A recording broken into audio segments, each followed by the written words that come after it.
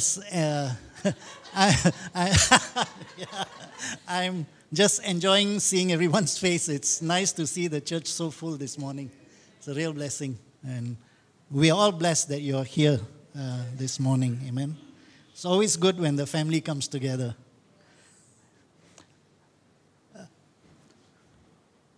Can I have the slide up, please? Let's just uh, commit this time to the Lord. Father, we just thank you, Lord, for who you are in our lives. Holy Spirit, we welcome you. We acknowledge your presence here. We know, Lord, that you were here way before any one of us stepped into this church. And Lord, we thank you, Lord, for your faithfulness in our life and the life of the church, Father God. Father, this morning, even as we hear the word, Lord, we ask that each one of us will hear your sweet whisper to each one of us in your own special way. Lord, we just want to know what you are saying to each one. Lord, that we can take it home and Lord, that we can begin to put it to use in our own lives, Father. Lord, that, uh, that we will continue to grow closer, move closer, and be intimate with you. Lord, we're so grateful for the joy, the peace, the love that reigns in this house. We thank you, we praise you in Jesus' name. Amen. Well, the title of my message this morning is A Generous Spirit. Um, let me see if this is working. Okay. As uh, Esther mentioned, today is Palm Sunday. It's the beginning of the Holy Week in the Christian calendar. So it starts today and ends with Resurrection Sunday next, uh, next Sunday. So next Sunday is Resurrection Sunday. So uh, as you may remember, Palm Sunday is when Jesus uh, rode into uh, Jerusalem on a, on a donkey, on a donkey's colt, right? And you know, when, when the Lord was coming into Jerusalem, that day, he knew exactly what's going to happen. Right? He had already prophesied about it.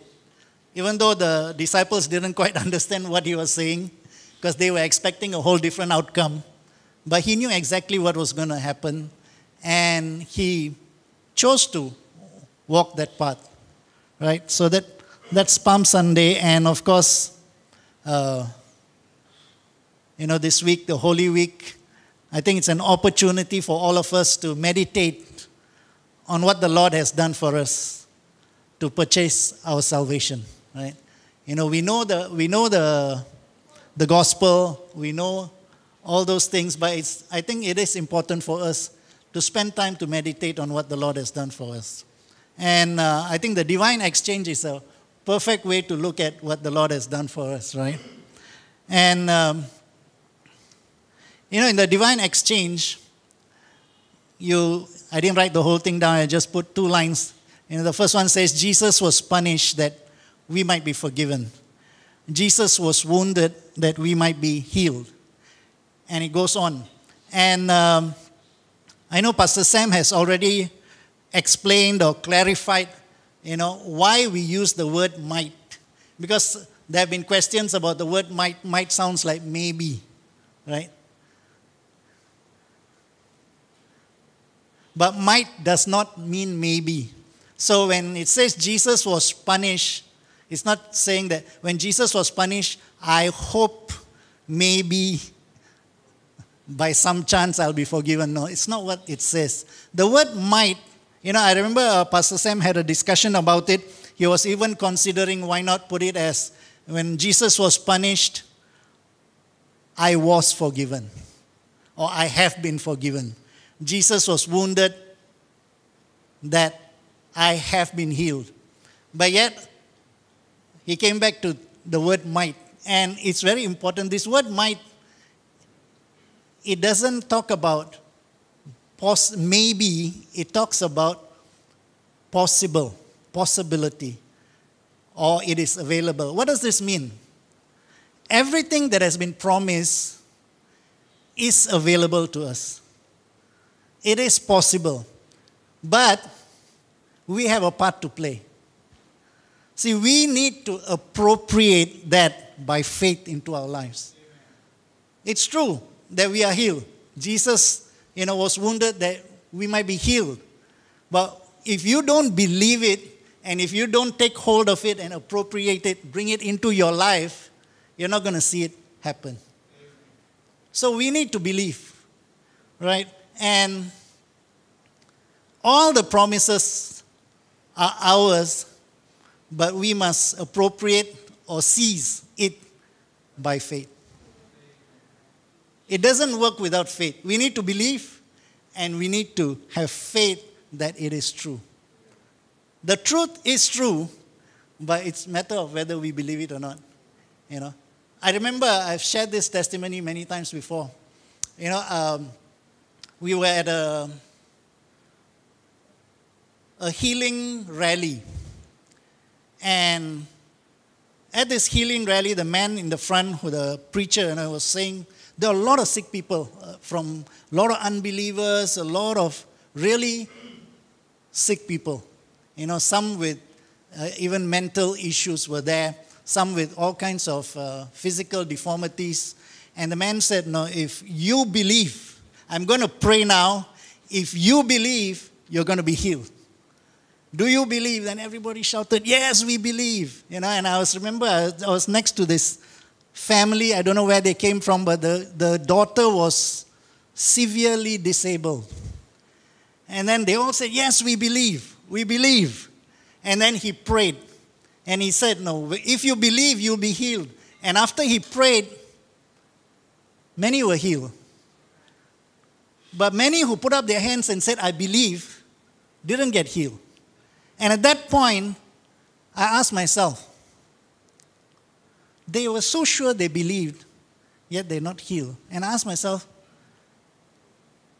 do I really believe that I'm saved? I can say, I believe, I believe, but am I saved? That was the question that came up in my heart. And immediately the Holy Spirit reminded me, it was so clear. He said, every time a preacher calls people out for salvation, there's this battle going on in your heart. Shall I go? Shall I get saved? You know. But this time, did you feel it? And I say, yeah, there was absolute peace. When he said, no, do you need to be saved? No, do you, have you, do you know Jesus? Come up. There was no battle in my heart. There was no like, should I go?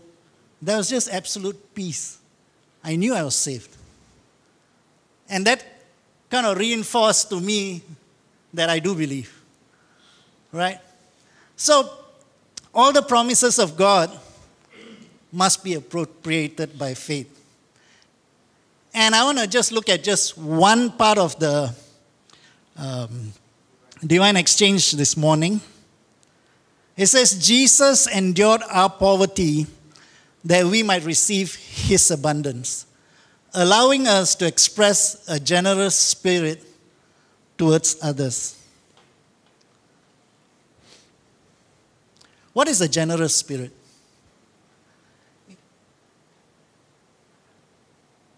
Is it something we pursue? Is it something that we go after? The world goes after a spirit of generosity. But you and I have a generous spirit. We are not pursuing a spirit of generosity. You know, in the book of Daniel, one of the ways they characterize Daniel is Daniel is a man with an excellent spirit. He didn't say Daniel has a spirit of excellence. He wasn't pursuing excellence, it was in him. You and I, because we have the Spirit of God in us, we have a generous spirit. We don't have to pursue it. It's already in us. Why? Because the Bible says God is love. And love expresses itself through generosity. Love always gives. Love is always focused on what is good for the others. It's not focused on personal gain.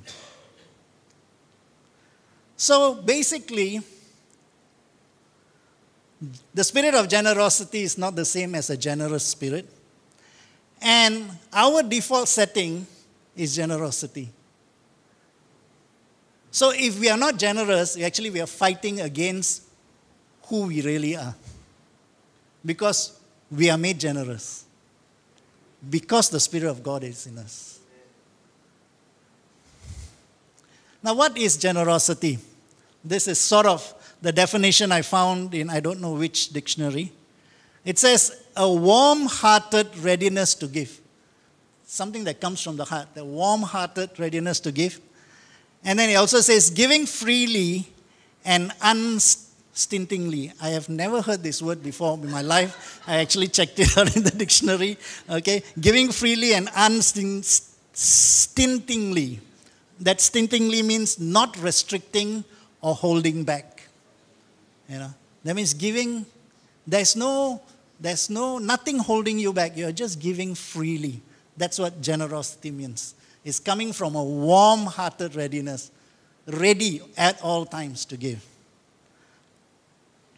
Now I want to go to Second Corinthians chapter 9.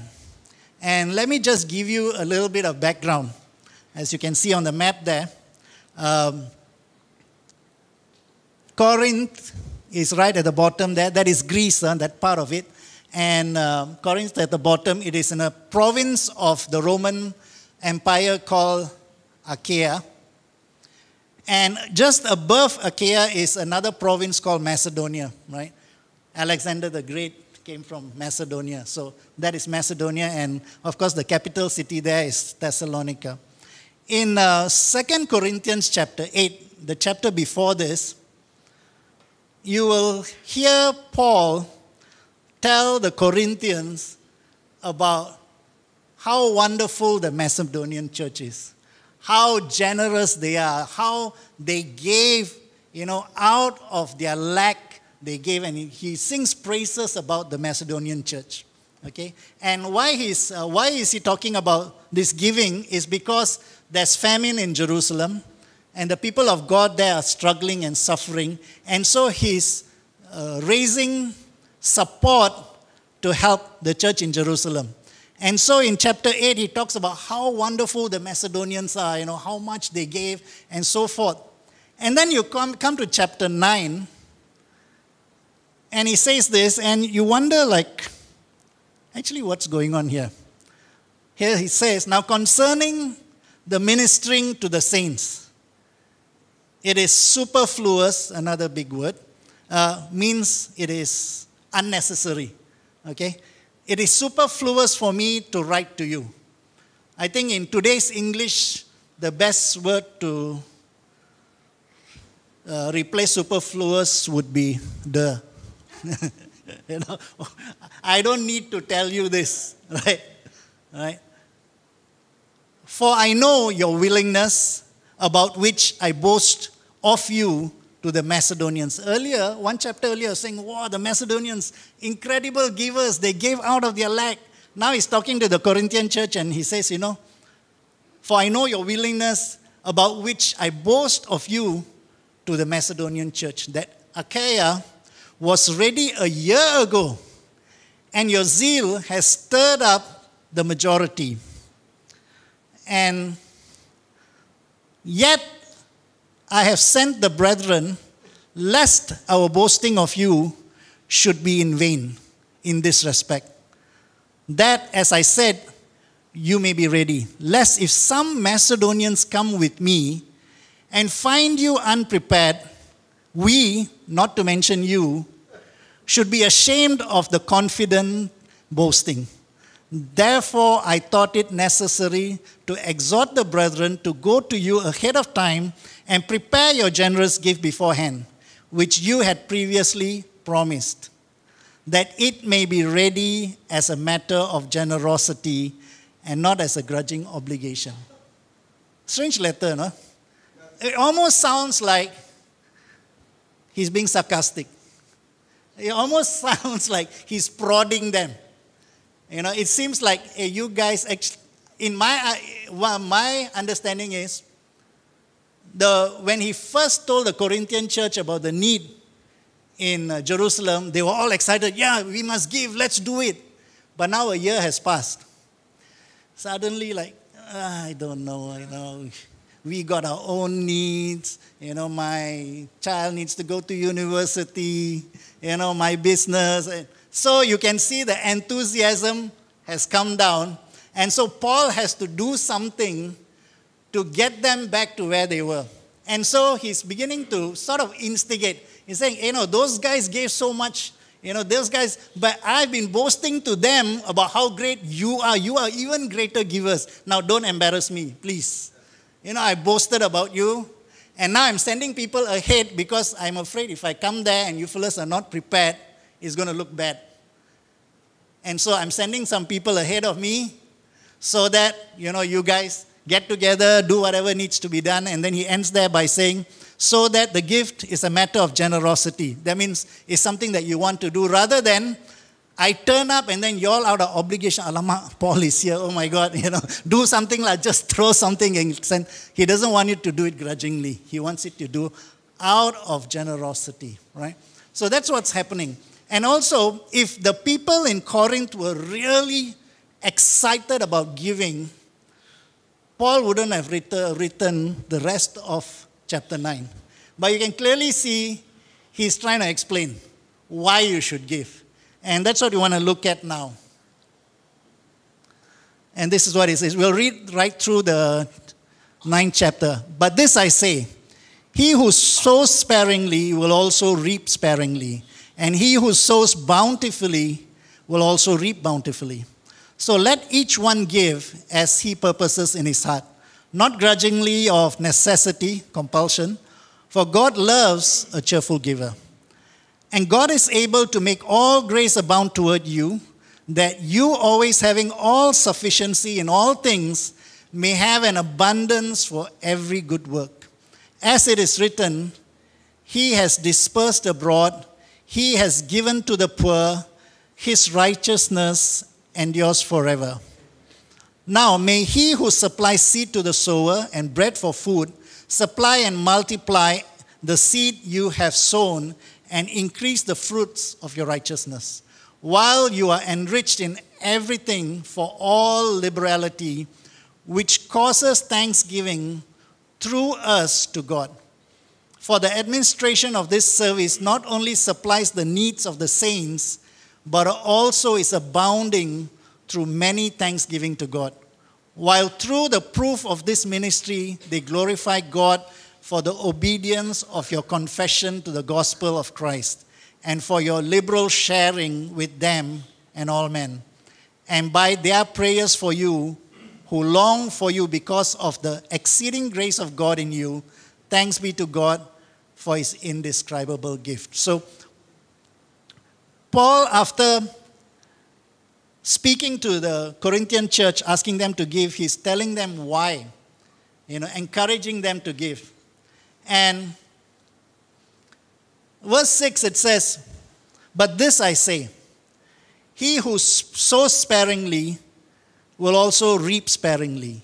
He who sows bountifully will also uh, reap bountifully. This scripture has always troubled me because it sounds like you need to bribe God. You give more to God, God will give more to you. I've heard people preach and say, you know, you give to get. That doesn't sound like God to me because God is a God of love. He's not going to incite us to bring the lust and greed out. Right? And if it was this easy, you give more, you get more, we'll all give more. right? So, I may be rubbing against some sacred cows. but I just, I just want to look at this scripture differently. He who sows sparingly will also reap sparingly. He who sows bountifully will also reap bountifully. Is God saying that you will be blessed when you give more? Is that what He's saying? Or is Paul speaking to a community who understands agriculture, right? They're all farmers and, you know, So when Paul says, He who spares, sows sparingly will reap sparingly, he who sows bountifully will also reap bountifully. As a farmer, if you have seed in your hand, you have a choice. You can decide to eat the seed, satisfy your immediate need, but then you don't have enough to sow for the next harvest. Or you can choose to forego some of the pleasures and things that you desire now and do what is right so that there's a harvest coming. And I believe this scripture, Paul is not trying to bring a new doctrine in. He's just saying there are times when we have to make the difficult decision and do what is right for the future. It's not about you give more, you get more, but it's talking about doing what is right for the moment.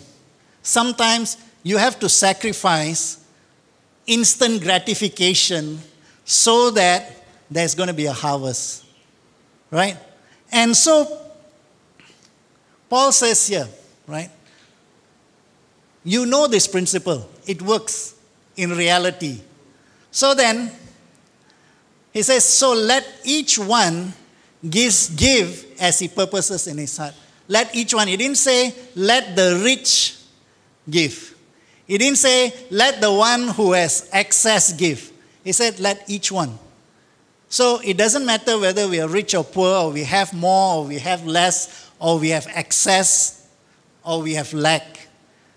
Paul says, each one, every one, each one give.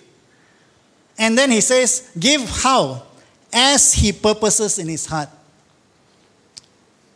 Most of us, when we give, we think about it, we consider, right? He didn't say what you decide in your mind, he said what you purpose in your heart. Why? Because every time there is a need or something comes to us, you know what we first do? The Spirit of God will speak to our heart about it. There's a prompting that comes in. And then what do we do most of the time? Then we start reasoning it out, right? Then we say, oh, yeah. You know, first I say, oh, yeah, yeah, I want, I want to give, yeah, this is what God is saying. Then, but you know, oh, I got this expense, or my roof needs to be repaired. What if my car breaks down? And then we will we'll reason it out to the point either we don't give or we give less. And I must confess, I've done it many times. You know, when I hear something and I know something in my heart says I should give towards this. And I even know the amount I should give towards this. But the minute I start reasoning it out, it's just a matter of time. I'll either miss the opportunity or I'll give a lot less and regret it just after giving. After giving, I say, that's not what I should have given. Because why? Because God is saying, you know, do what He has purposed in your heart. And I can tell you this most of the time, the first prompting you get is from the Holy Spirit. Most of the time. After that, we start reasoning it out and then it all gets diluted. That doesn't mean that we don't use the wisdom that God has given, it doesn't mean that we don't pray. But you realize that first prompting, keep it right there in front of you and ask God, Lord, is this you? And so that's what it's saying here. Let each one give as he purposes in his heart. What is it that the Holy Spirit has already put in your heart? What is it that is prompting you? And then he says, don't do it grudgingly or out of compulsion, right? When God gives us an unction to do something, if you really don't want to do it, don't do it. Don't do it grudgingly. Don't do it grumbling, complaining. You know, sometimes God may say, you know, give something to someone, and I've done this before. You know, I'm going to give, and then I say, well, this fellow's handphone is so much more better than mine. Why am I giving money to this person? you know, right? It becomes grudging. You're giving it, but you're beginning to grudge. You're beginning to complain. But you don't know the need in that person's life and you don't know what God knows. And so God says, you know what? Don't do it grudgingly. Don't do it out of compulsion. Don't make people manipulate you, force you, make you feel so bad that you have to give. That's not God's way. Because God says, love always gives. And so he says this For God loves a cheerful giver. I asked my wife last night, so does that mean God hates uncheerful givers? right? If God loves a cheerful giver, what does it mean? It just means that it delights God's heart when we give what He has prompted us to do because our heart is aligning to His heart. That delights God's heart. Because He prompted you to do something and you're doing it, you want to please the Father, you're excited that He's given you the opportunity, and it delights His heart. It's not that He's going to love you or not love you based on your giving. Because the Bible says He loves you unconditionally. So whether you give or not, love is not a question. It's done. But what He delights is when our heart begins to align with His heart, when we begin to obey the promptings of the Holy Spirit. That's a cheerful giver. And then it says, God is able to make all grace abound toward you, that you always having all sufficiency in all things may have an abundance for every good work. Fantastic scripture, right? But what about the people in Jerusalem? Didn't they, didn't they believe the same God? Why are they having a famine? And why are they suffering? And why does this scripture say God is able to make all grace abound toward you, that you always have all sufficiency in all things, may have an abundance for every good work? Yet the church in Jerusalem is struggling. There's a famine. And I remember uh, listening to a message once, and the preacher said this, and kind of stuck with me because it was something that I never expected anyone to say. He said, Do you know there's no money in heaven? I was like, what? Yeah, there's no money in heaven. All the money is on earth, it's in your hands and in your pockets. And how does God make all grace abound towards you that you always have the, all the sufficiency? The church in Macedonia, the church in Achaia was the way God made his grace abound towards the church in Jerusalem. This word is true. But the blessing of God comes through his people. Have you ever seen money fall from heaven? I haven't yet. That'll be nice. Right? It doesn't. It comes through hands of people who love God. Whether you can say, of course, oh, I work, ma. I work, I get my salary. Yes. We get paid wages for what we do. But then the blessings of God comes through so many ways, and it's not always material. You know, we're always expecting, you know, I remember there's a time where people used to say, you know, if you give a car, you get a car. If you give a house, you get a house. Yes. Okay, I don't want to use language that's not right, but that is garbage. Okay, it's not how it works. Because our giving should be from love. Our giving is not based on what I can get if the whole purpose of giving is that I want to get something, the motive is already wrong. We can do the right thing the wrong way. Oh, hang on, my iPad switched off.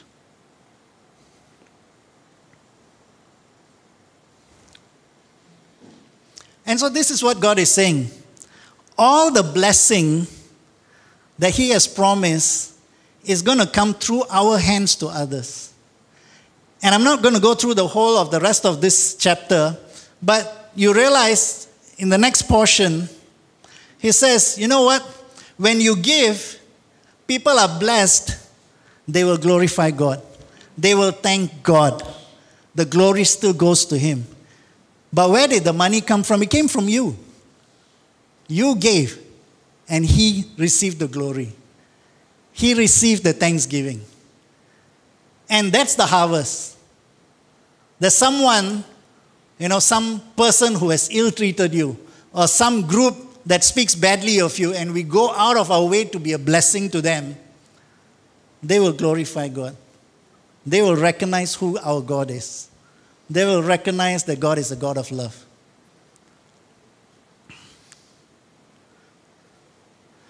So, three point sermon. So, why be generous or why give? The first reason is this love always expresses itself through generosity to others. If we say we love, naturally we will give because we want to be a blessing. It's natural, it's our default setting. We can't help it. We have the Spirit of love, who is the Spirit of God dwelling in us. We're not pursuing Him, He's already in us. Now, another scripture 1 Timothy chapter 5, verse 8. Anyone who does not provide for their relatives, and especially for their own household, has denied the faith and is worse than an unbeliever. Allah ma. Okay, let me just clarify.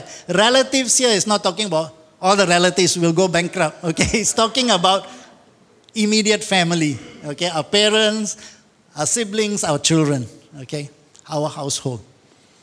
So it says, anyone who does not provide for his own household has denied the faith is worse than an unbeliever. It sounds almost like we are insulting unbelievers. Because most unbelievers take care of their families, right? And they take good care of their families. So why, why say this? It's almost like, why did, why did Paul say this to Timothy? If anyone does not provide for their family, they are worse than an unbeliever. Very simple. The fact is, Paul is saying most unbelievers take care of their family, take care of their spouse, take care of their children. They do. But there's one difference between you and the unbeliever. The unbeliever doesn't have an indwelling spirit, yet, he's taking care of his family. If you, who have the Spirit of God in you, don't take care of your own family, then saying you're much worse than an unbeliever. Unbeliever without the Spirit of God is doing it. You, where the Holy Spirit is continually compelling you, continually leading you towards loving, it will take a lot of suppression of the Holy Spirit not to take care of your family. Now, one thing about this when he says take care of your family, it's not talking about you don't have enough. It's talking about you have, but you don't take care of your family, right? If you're going through a hard time and can barely make ends meet, it, this scripture is not talking about that. But it's talking about, you know, yamsing with the friends and say, next round on me. But the kid doesn't even have a shoe in the, to go to school with. Right? That something is wrong. Then you're worse than an unbeliever. Because unbelievers take care of their family. But you, with the Spirit of God, are not doing it. That's what the scripture. So, what does this scripture tells us? We also give because we have a responsibility to give. Some of our giving is out of responsibility to our family, to the government. We pay our taxes. That's our responsibility. We have a responsibility towards the community. We have a responsibility towards the church. You know, I was just thinking, when I was young, I mean, I went to church for years and years. I don't, we didn't have an air condition, we had a fan. I, but I don't remember complaining about the heat those days. Went to church every Sunday, happy. Maybe as a kid, so I enjoyed going to church, meeting my friends. Today, if the aircon didn't work, I can tell you that we are revolt. We have to have a committee meeting to decide whether service is going to be on or not, right? We are so blessed. Right? We're so blessed. And all this costs money. So we have a responsibility to take care of the church. We have a responsibility to take care of all the expenses, the costs, whatever we want to do we have a responsibility. It's part of our duty, right? And so that is also part of what we do as a, as a believer. We give. Now, I want to look at one more portion of scripture. Okay, before that. So, another reason to give is because it's our responsibility. We can't run away from responsibility. That's why, if you remember, Jesus spoke to the Pharisees and said, You, you guys, you have twisted everything. You don't honor your father and mother, but you say, I give it to God, and then you don't care about your parents. That's wrong because we have a responsibility, right? Now, Genesis chapter 13, let me just go give you the background.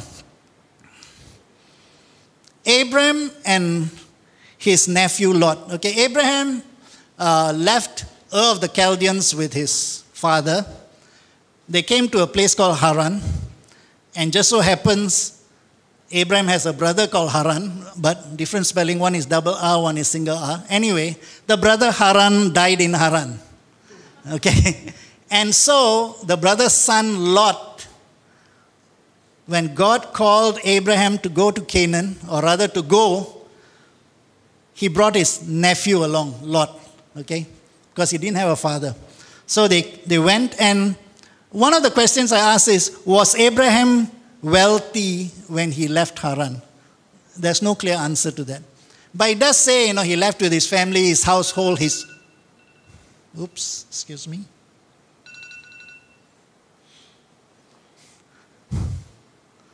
telling me it's time to stop.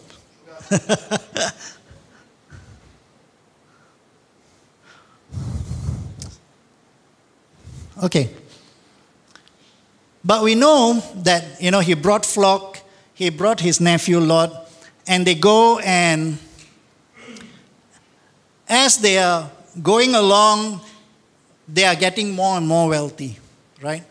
And eventually they go to Egypt and then Pharaoh also gives them a lot of uh, money and whatever else because, you know, they wanted to marry Sarah and didn't happen and all those things. So they're rich, they're wealthy. Both Lot and Abraham are wealthy. And then, because they have a lot of flock, there is a, there is a dispute between Lot's people and Abraham's people, right? And so Abraham tells Lot, You see this land before you? If you take the right, we need to split because we don't want to have any strife within the family. So if you take the right, I'll take the left. If you take the left, I'll take the right. And so it starts here. And so Lot looked around and saw that the whole plain of the Jordan towards Zoar was well watered, like the garden of the Lord. It's almost like Eden, okay? Like the land of Egypt. This was before the Lord destroyed Sodom and Gomorrah. So Lot chose for himself the whole plain of the Jordan and set out towards the east. The two men parted company. Abraham lived in the land of Canaan, while Lot lived among the cities of the plain and pitched his tents near Sodom. Now the people of Sodom were wicked and were sinning greatly against the Lord. I'll just stop there for a minute. Think about this. You bring your nephew along, and most probably, your nephew is successful because it is you who have raised him up. It is you have given him the opportunity to grow and become wealthy, right? And now, they need to split up. And Abraham tells Lot, You choose first, which is, how many of us would do that? I'm the one who raised you up, okay? You will have nothing without me. So I'll take this land, you take that. That probably would be how most of us would do it, right? But Abraham tells Lot, You choose first. And the choice is very stark. One side is it's Eden, perfect plains. You know, it's easy to raise livestock here. Fantastic, perfect, awesome. The other side is not so great. In fact, a lot of it is desert land. And Abraham says to Lot, You choose.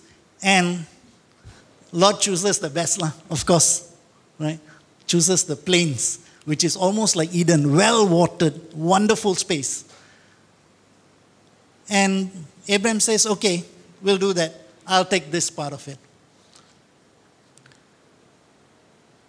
Have you wondered why Abraham would do that? Why would Abraham be so generous? life is going to be difficult on this side. Because this is almost like desert land, hilly, it's not great. While the other side, it just goes down to the, the sea, rivers, well watered, perfect landscape for your flocks. But, but Abraham allows Lot to take it. What do you think he did there? Do you remember just one chapter later, you know, the Lot gets captured, and then Abraham and the kings go and they bring uh, Lot back and they plunder the land, everything. And then the king of Sodom tells uh, Abraham, you know, just give me the people, you take the plunder. And Abraham says, No, I will not take anything from you because I don't want you to claim that you made me rich. In other words, saying there's only one person who made me rich, and that is God. That is why Abraham is able to stand there and tell Lot, You take whichever part you want, because my source is God. It's not the well watered plains of Jordan. You can take the best, God will take care of me because my source is God. You know, I want to encourage you. We live in a very strange time today, in this country, even. You know, I hear so many complaints about certain groups of people doing certain things that are very unfair, is unjust, and blah, blah, blah, blah, blah. It's, none of it is not true. A lot of it is true. But guess what? God is asking us, who is your source? People can take the well watered plains of Jordan from you. God is your source. It's not the well watered gardens. It's not the easy business. It's not this, that, or the other. And that's, that's one of the things that we really need to ask ourselves. Is God our source? You know, I can tell you this. I used to always pride myself as a good giver. I'm very generous, I used to think.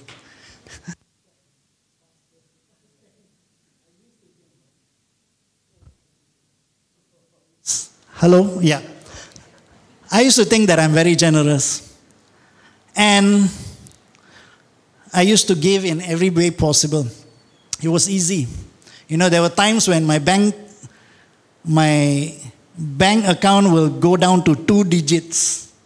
But then no issue. Because end of the month, salary will come. No issue giving. Very generous, no problem. Because there's more where that came from. Every month, there's more money coming, no issue. Then I quit working. Now it's not it's not, it's not consistent. It's not the same amount. And then suddenly I begin to realize maybe I'm not so generous after all. I was very generous when there was ample and there was a steady flow, no problem being very generous. But then when you don't see the steady flow, I really ne- needed to stop and recognize my own heart and say, Am I really generous? Am I going to look at my bank account or lack of it? Or am I going to say, God is my source and remain as generous as I was when I was getting a steady income? You know, that's a decision that I had to make. And so I decided, okay, I'm going to be as generous as ever I'm going to give. Now I'm almost 60. Now there's almost nothing coming in. Whole different level. And again, as I was reading this portion of scripture about Abraham, God really convicted my heart. And He said, Who is your source? It's so easy for us to look at our bank account, look at where everything's, you know, how it's going to come, who's going to give, you know, which investment's doing well or whatever it is. But let me tell you, all those things don't matter at all because it can disappear in a minute. In fact, we really don't know what's going on on the earth today. We really don't know. Everything can change at any time. Who is your source? Because if you know God is your source, then you don't have to fear lack because He will provide. Remember the scripture we saw earlier you know, a man who doesn't provide for his own family is worse than an unbeliever. Guess what? God is a father. Don't you think this father will take care of his own household? Otherwise, he'll be worse than an unbeliever. It's not possible. No matter what the situation is. You know, people may be taking the best from us. It may be very unjust. It may be unfair. There may be discrimination. All kinds of things. But the fact is, a lot of people go through these things. In fact, in this country, I think we are very blessed compared to many other countries out there. But the bottom line is this Are you sure who your source is? Because I can guarantee you, if you don't know who your source is, your life is going to be shaken. Because the world is really uncertain. So that is another reason why we give. The third reason the third reason we give is because we want to declare that God is our source. When my bank account is low, I still want to give because God is my source. It's not my bank account. Right? I remember when, I, when we were in Bible school, one of the things that they used to teach us is you know, when you're struggling or when you have a lack, sow a seed, give. And the giving is not so that, you know, by my giving, I'm going to receive something. My giving is a declaration that God is my source. So when I am in lack, that is the time we normally will hoard. That's the time we will give less. We will be afraid, fearing lack. That is the time we need to declare who our source is. It is our God. So it doesn't matter whether it's good times or bad times or difficult times. If God is our source, we will never stop being generous. We will always give. So I just want to end with this three simple points. You can't help yourself but to be generous because God's love is in you. Love always gives. The second thing is there are some things that we are responsible for and we should take care of it. And finally, every time we give, we recognize our source is God because if you don't believe your source is God, it's very difficult to give because we need, ma. What about this bill, that bill? What about my future? What about my retirement? What about. There's a lot of things we need. But when we know God is our source, it doesn't matter if there's no monthly income, we have a heavenly Father who loves us. He will always provide for us. You know, I remember I'll end with this. I think I've shared this testimony before. Many years ago, when I was a young engineer, um, performance review. So my boss called me into the room for performance review. So went through everything. Then after that, he said, "So, how much do you want for an increment?" So I said, It doesn't matter, anything will do. then he said, Wow, you're so rich. Uh. You don't need money. And without thinking, you know, it, it didn't even cross my mind. I wasn't, just out of my mouth, I said, My God will supply all my needs. he has supplied my need every day of my life because He's real. My God. And it came out of my spirit. It didn't come it came out of my mouth, and I'm surprised it came out of my mouth because this is an unbeliever talking to me. But God has been faithful. He has always taken care of us. It's just whether we choose to trust Him and whether we choose to recognize that He alone is our source.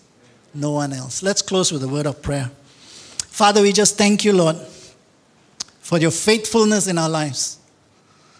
Lord, we recognize even when we have been unfaithful, you have never stopped being faithful. Lord, forgive us, Father, when we complain, grumble, and murmur, and we forget to be grateful for all that you've done in our lives, all that you're doing. Father, we are so grateful that we have this confidence in us that gives us peace and puts us in a please space of rest because we have a loving Father who will always provide for us. Lord, as a church this morning, Lord, we want to declare that you are our source. Lord, we look to you as our source and we remember that you have always been faithful in this church over the last 30 plus years. There has never been a day that we have lacked. And Lord, we continue to declare that you are our source. And Lord, that you are a good, good Father. Lord, we just want to rest in that. Lord, we want to be cheerful givers, Father God, because we want our hearts to be so aligned with you, a heart that loves like you do. Lord, we just praise you, we just honor you, we thank you in Jesus' name. Amen. Amen.